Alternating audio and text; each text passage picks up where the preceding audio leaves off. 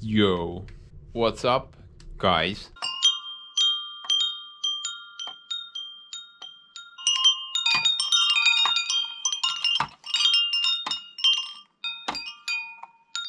So this video guys, it's the first type of new content that I'm trying to add to the channel. I already explained it in my community posts on my YouTube page, but if you did not read that, then I'm quickly gonna explain what's going on. So addition to my normal type of programming, I'm gonna start adding two more topics to the channel. So in my normal type of programming, I usually pick a project, then work my ass off trying to complete said project. If the job is big, then I usually cut that project into episodes. And after finishing said project, just pick another one and repeat. But believe it or not, I also do other stuff while making these bigger videos for you guys. And I would also love to share that type of content with you guys. But I haven't really done that so far. Main problem with that is the videos would be like two minutes long and that would be just worthless. So in this type of new content, I'm looking to kinda share the odd jobs or odd ends with you guys. Gonna glue all that crap together and then try to make an interesting video about that. Another type of content that I'm planning to start releasing this year, making shorter versions of my finished projects. I mean, uh, the bigger ones. Basically, those videos will be me plowing through everything in either time-lapse mode or ants in the pants mode. And what I'm hoping to achieve with those types of videos is to reach a wider audience. Right now I'm thinking my one hour vlog videos are not reaching, uh, you know, space. So maybe that will help me out. Another thing that I added to the channel, which you probably maybe noticed by now, is the Patreon thing. Apparently, quite a few of you, for some reason, demand it. I don't know what's up with that, so yeah. My end goal here is hopefully to become a full-time content creator. Making videos for you guys, it's like a hobby to me, so it would be really cool if I could do this full-time. And with these upgrades to the channel, I'm hoping to achieve that probably in a decade or so. Anyway, with all that out of the way, let's start off with the first odd ends video ever. And the first thing I need to do is need to get this thing road legal again. Currently the thing is not allowed on the road. Legally, I mean. So I would probably need to load it on a trailer, drive it to the DMV shop and have it certified. But I think I'm gonna go spy mode for this. Try to weasel myself into the city without getting caught and going to jail. Although, if possible, maybe I could take my camera to jail. Start vlogging from behind bars. Let's do hope that does not happen. Before I take it to the shop though, I need to fix one major problem with this thing. The problem is that I don't really have any place to set the camera on the machine while I'm riding it. So I would love to use my homemade uh, camera holder. Really simple setup. Just a magnet, hole saw, a bit of weld, some steel tubing, a nut bolt and a washer, and some rust. think this thing cost me like 5 bucks to build. Let's short him out just nicely. Sits in the hole saw and because most of my equipment is made out of steel, I could mount this thing pretty much everywhere. But the Yamaha piece of crap here is mostly made out of stupid plastic. I mean, even the Belarus lawnmower is made out of steel. How is this possible? What? So let's add some options to this thing where I could mount the camera.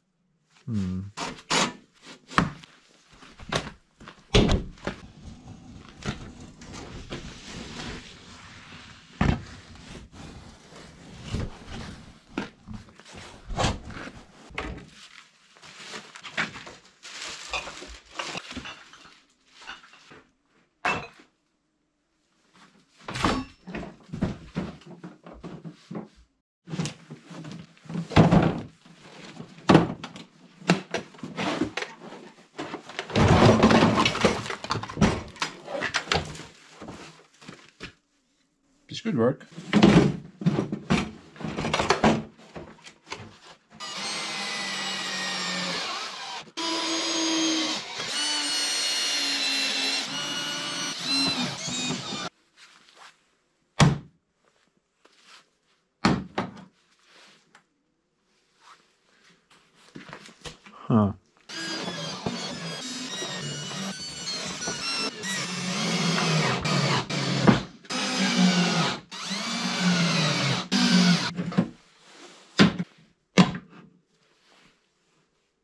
Should work. Plus addition, got some free extra storage.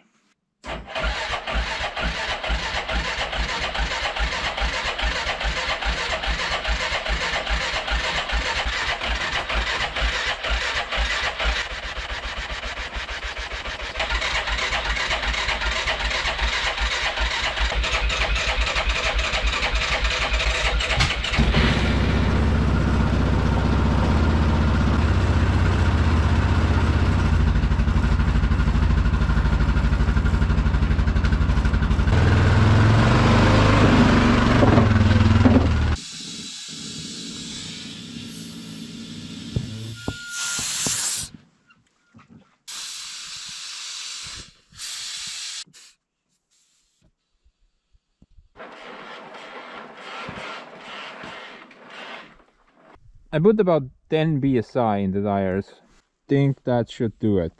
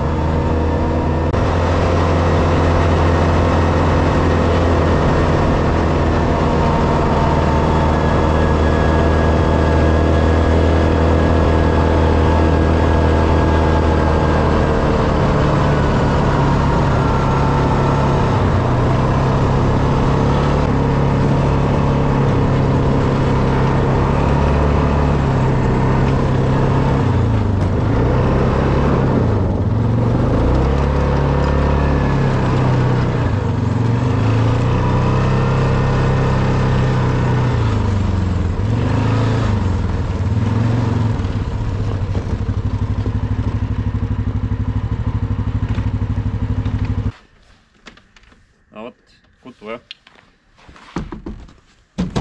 siit kopi kõrval, mis see kuradi Elfori see varuosa pood on.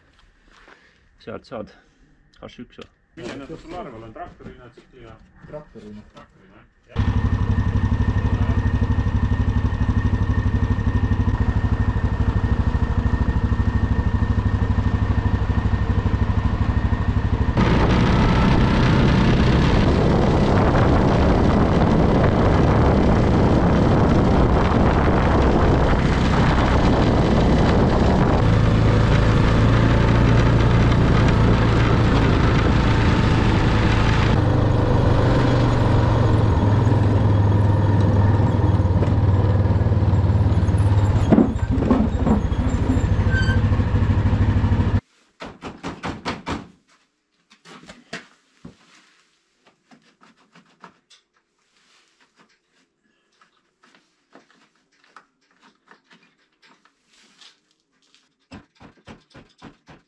You have got to be kidding me.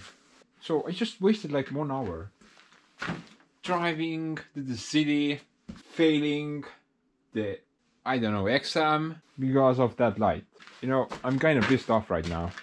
I'm thinking I'm just gonna remove this machine from the registry.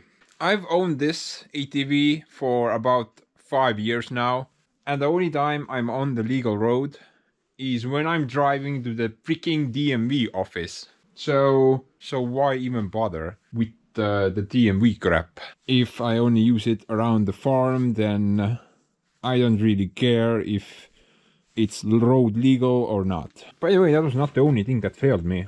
Apparently, my fire extinguisher expired in 1996.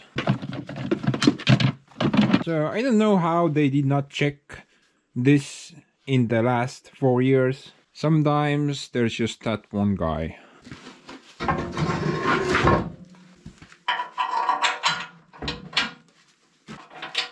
By the way, if you're interested how I made this snowplow out of a Soviet gas cylinder, then that video's link is up in the corner.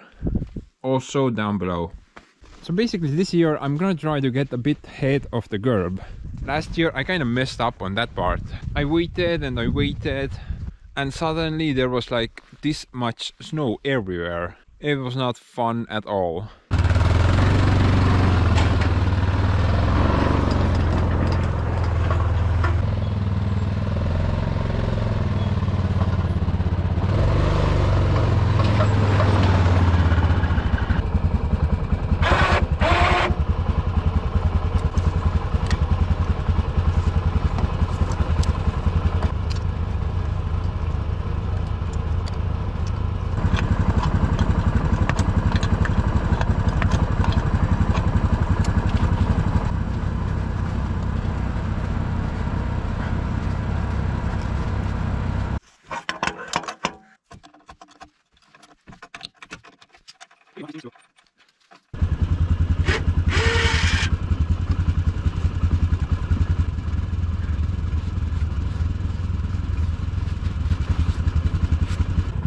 Yeah, that's pretty decent. Kind of want to make sure that the blade does not cut into the soil.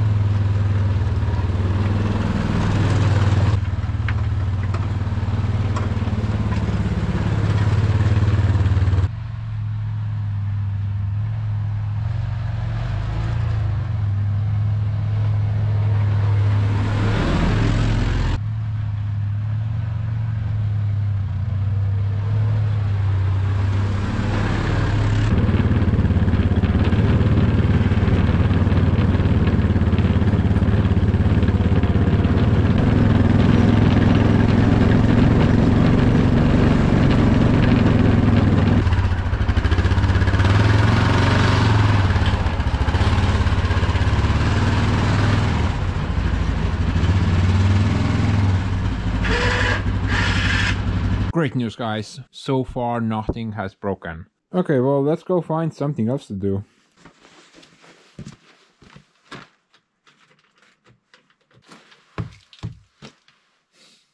Man, this tire is starting to piss me off.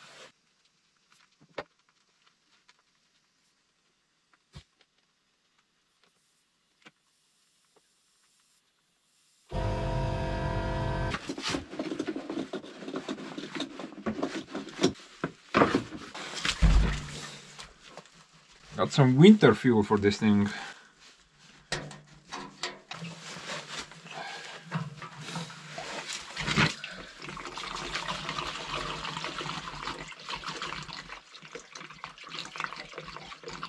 Also need to add this thing. So this is like um, cocaine for diesel fuel.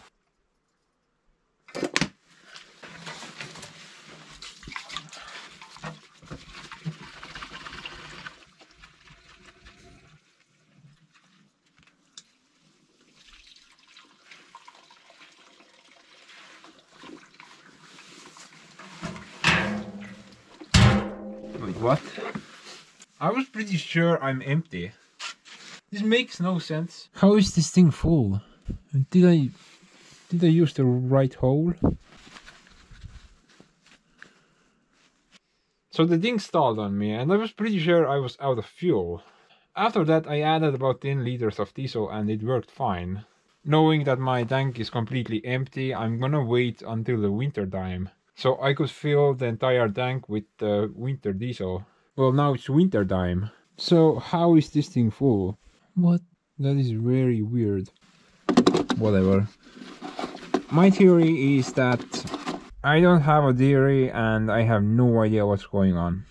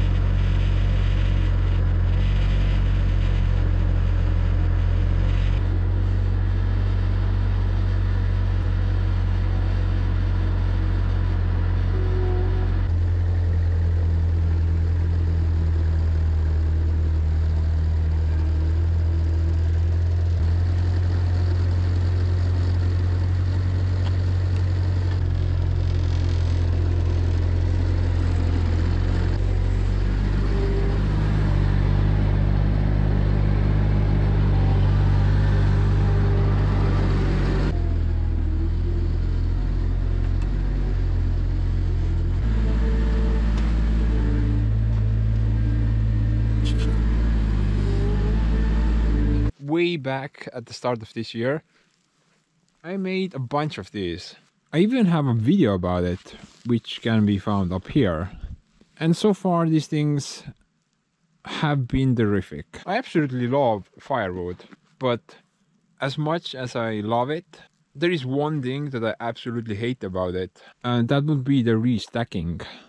stacking after stacking off stacking bunch of stacking. And that's why I made these cages. My end goal pretty much was just to have one stacking. You split the firewood stack it in these cages and once they're ready I just take them to wherever I need them. Either it being the sauna, the main house or the cabin.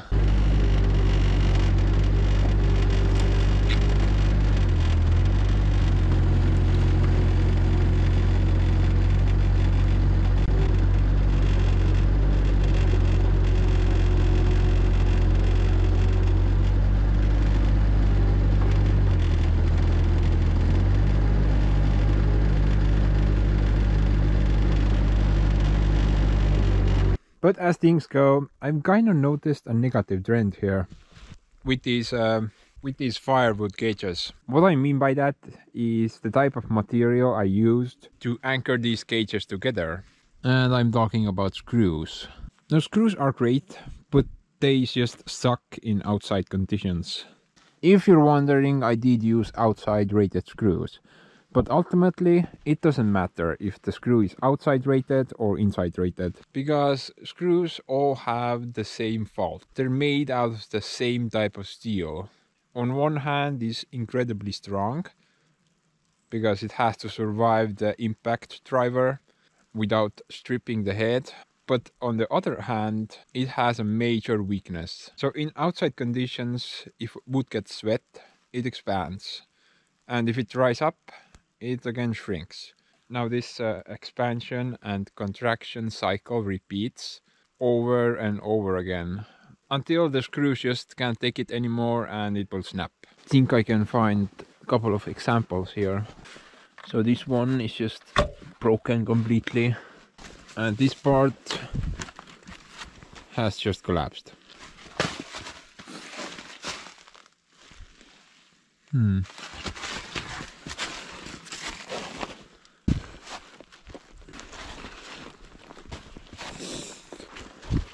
Well, I guess the situation isn't that bad. But still, two pallets are broken and I haven't moved those ever since February. So this year when I do firewood, I will overhaul all of these cages. Essentially, I want to make them as strong as possible. What I'm aiming for is that I can pretty much throw these things out of an airplane and they would survive the impact to some degree. And instead of using screws to reinforce them, I'm gonna use nails.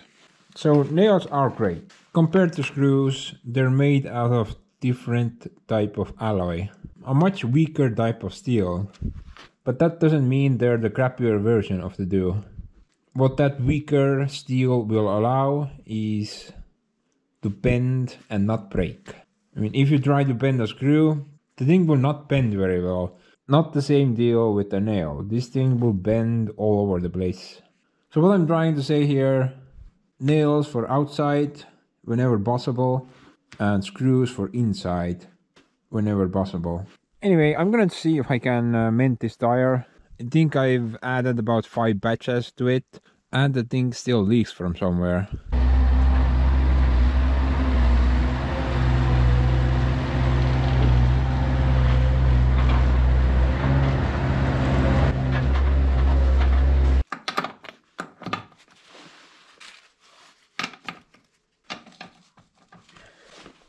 What?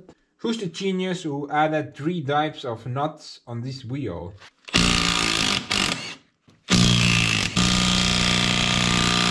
If I ever find him, he will be getting what's coming to him.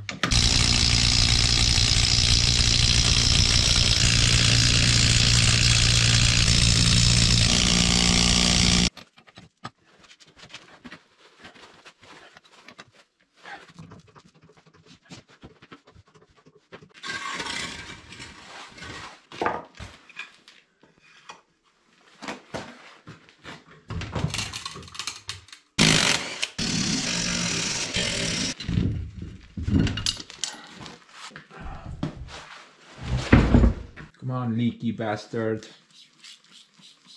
Where are you?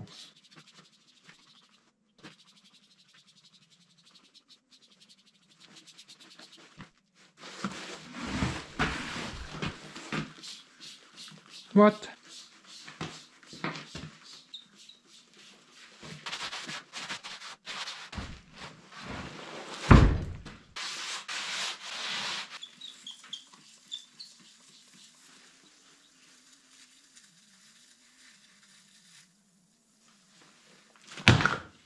I quit.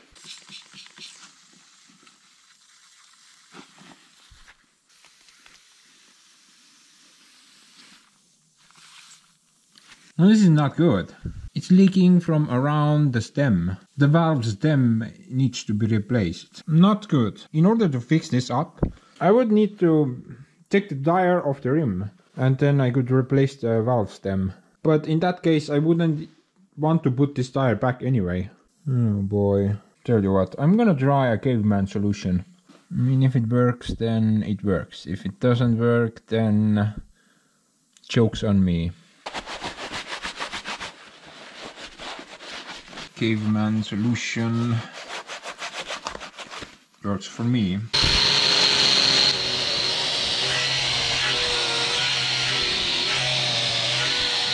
To get this tire off the rim, I would need to take it to a tire shop. I wouldn't be able to do it here.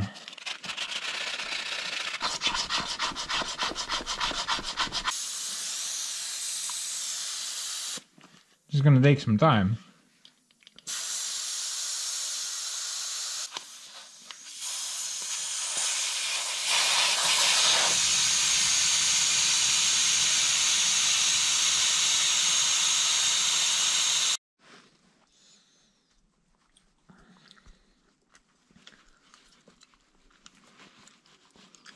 I call this thing the caveman pudding. It has a lot of great calories in it. Bunch of protein and other stuff. Basically this thing is known as chemical metal.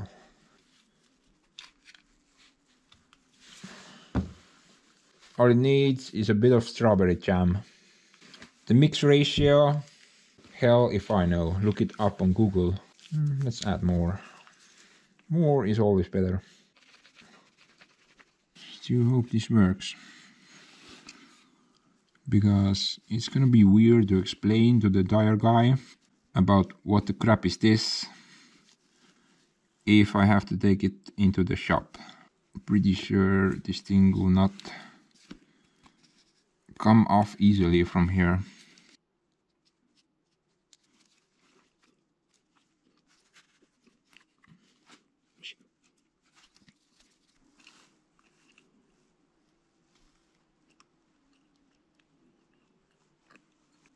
This is like doing fine art. I have to make sure that there are no air caps. Hmm, okay, well, anyway, now we gotta wait. 60 minutes. This thing is nasty. Yeah, it pretty much smells like, I don't know, instant cancer.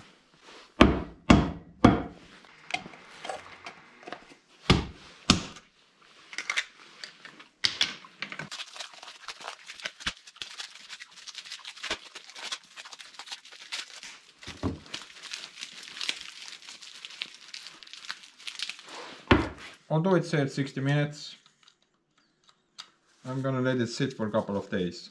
See you whenever. Hmm.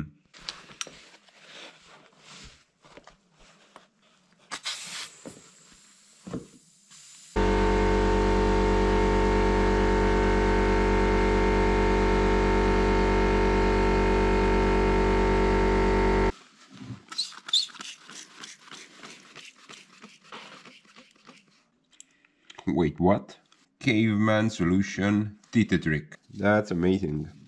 Meaning I can continue using these Formula 1 tires.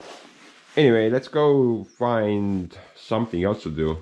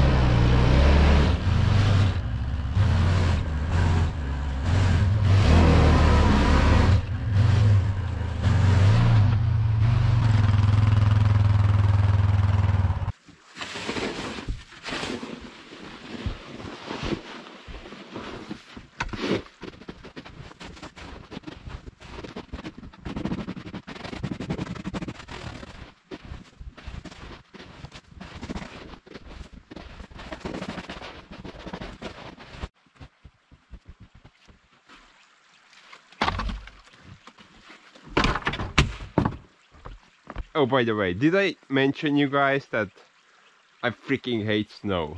Yeah, well, now you know.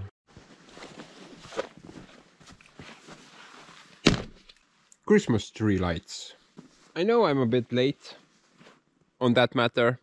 As of right now, Christmas is already over. But in my defense, right now, for me, at this time, I still have about two weeks until Christmas. So I thought, let's light up this situation a bit. And also this deal. So my vision is to have Christmas lights all around all around the building on the leading edges. For that I got two boxes of these. One box is 30 meters, so total I have 60 meters. The house should be about 55 meters, uh, give or take a couple of miles. So let's install some lights. Maybe it will look better, maybe.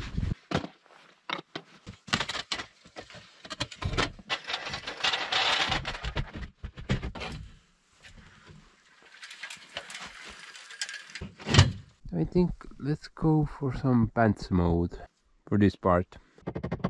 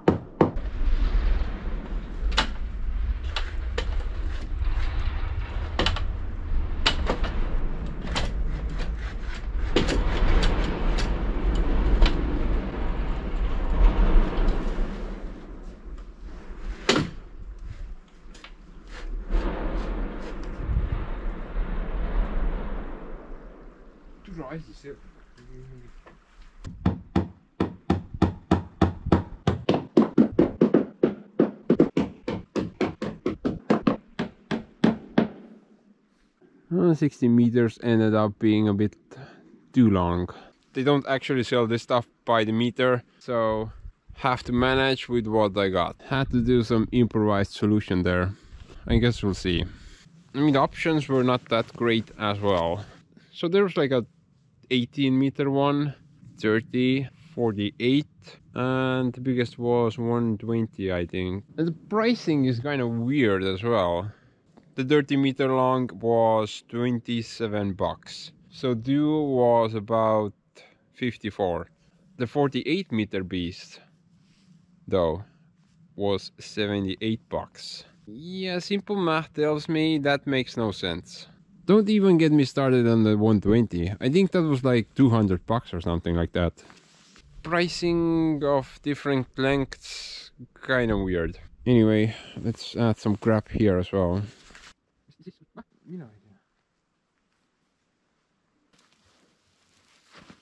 I'm just gonna set this tree on fire and that's all the Christmas lights I need.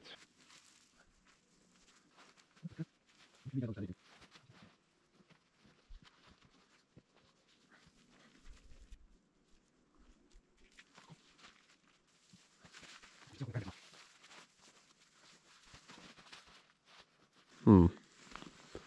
By the way, ever since I replanted this uh, tree, if you're interested, here's a link to that video. The tree has actually done pretty good so far. So we always had some kind of a problem with this tree. When we got the tree, it was about yay big. And the tips on the thing have always been dry. But ever since I replanted it here, I've I have noticed a lot of green stuff on the dip area. I mean, even the driest dip has started to get some green, green stuff. I mean, I'm no expert, but I think green stuff is great. So maybe this uh, rocky soil kind of suits this tree a bit better than the dark rich soil it was previously. I guess time will tell. But anyway, uh, let's wait for the earth to do its thing. Then, uh, then let's see what's what with the lights.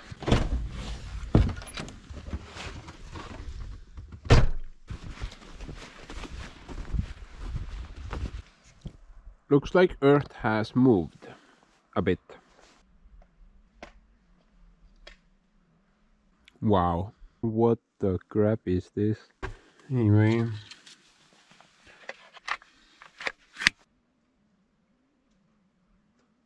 Hmm. Looks kinda neat though. This thing definitely is no warm white though. I mean, that's white. That's like smoldering yellow. Warm white. Warm white my ass. I guess this also works.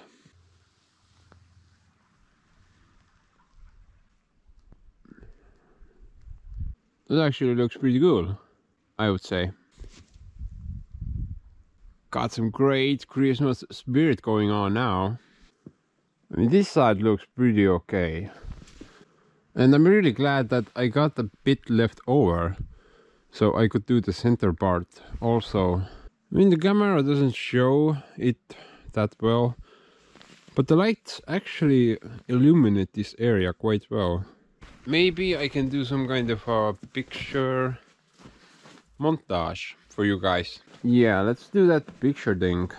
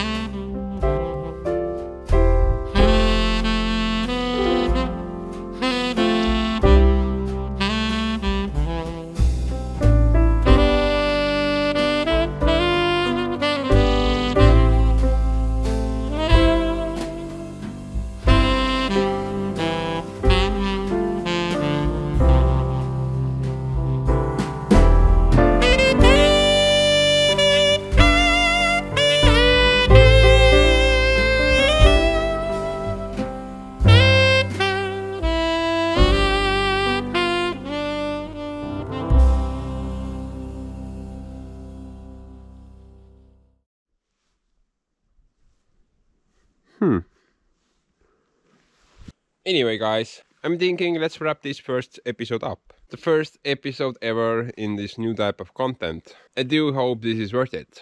I will start working on the second episode whenever I find something interesting worth showing. So be sure to let me know what you think about this video and should I continue this type of content on. Basically let me know if this video was worth it. I'm kind of on a test run right now. But until then, thanks for watching and I will see you in the next one. Bye.